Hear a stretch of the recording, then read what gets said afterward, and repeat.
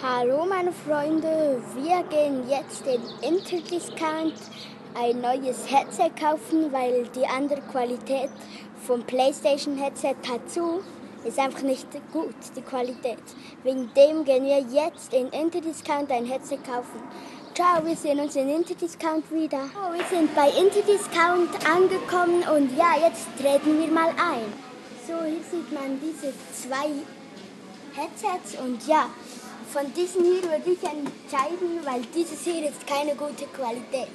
Diese hier sind sehr gute Qualitäten und jetzt schauen wir hier mal. Hier von einer anderen Marke als von Sony. Weil das ist extra für die Playstation gemacht. Und ja, was nehmen wir wohl? Das hier. Wir nehmen das hier und wir gehen jetzt zu der Kasse.